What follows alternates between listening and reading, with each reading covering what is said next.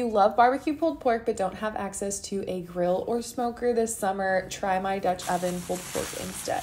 I like to make it in the Dutch oven because you can sear the meat and braise it in the same pot versus doing it in the crock pot. You have to dirty more dishes. So, this is my preferred way, but you could also make this in a crock pot and just transfer everything over there. So searing the meat adds flavor and those onions kind of saute and all of those brown bits and then it gets soaked up in the braising liquid.